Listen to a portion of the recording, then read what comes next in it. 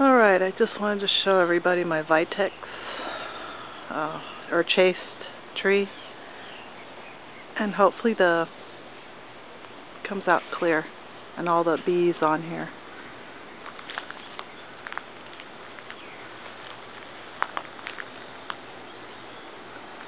So I've never done a video before so on my phone. I'm on my on my camera.